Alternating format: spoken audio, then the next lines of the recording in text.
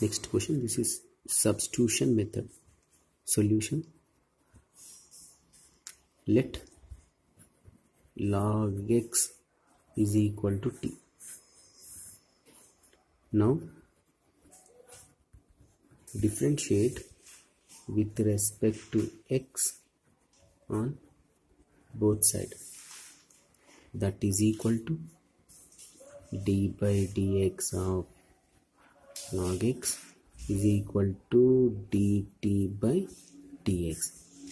d by dx of log x is 1 by x is equal to dt by dx. Cross multiplication cross multiplication. It's equal to 1 into dx dx is equal to dt into x x dt. Or or we can write this is dt from this dt is equal to tx by x. Okay.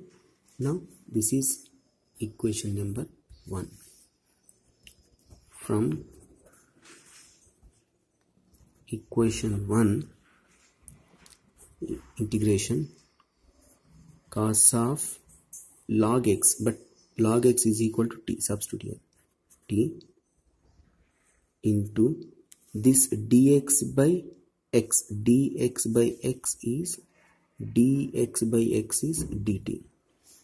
This is dt. That is equal to integration of cos t dt is sin t plus c since integration of cos x dx is sin x plus c.